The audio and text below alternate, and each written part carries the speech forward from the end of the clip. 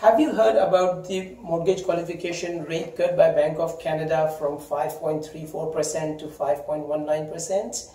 I understand it's not a significant rate cut, but this tiny rate cut plus the first time home buyers incentive program is enough to bring smile on some buyers and sellers faces.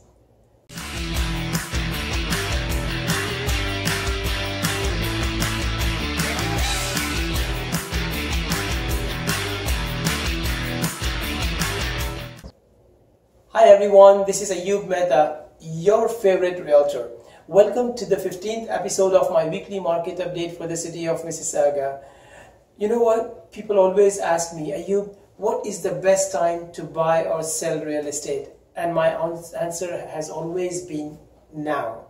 And this now cannot be better than during the summer vacations when all the other buyers and sellers are have put their transactions on hold and are having fun going on vacations spending time with family and friends. And that is the time my friend you should be going out and looking for that bargain. So go out and look for that serious buyer or seller okay?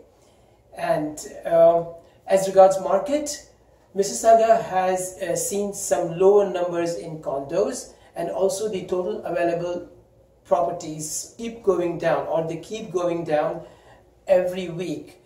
And uh, let's look at the figures for the last week. In freeholds, the new listings were at 152, solds were at down at 53 and sold conditionals at 62.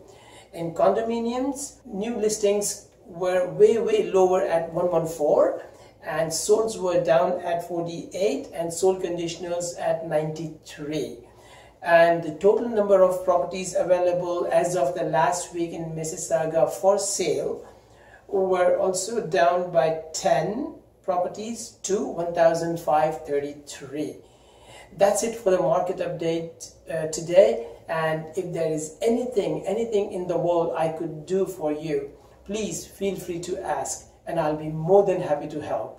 Thank you everyone for watching my video. God bless you and have a great day. Bye.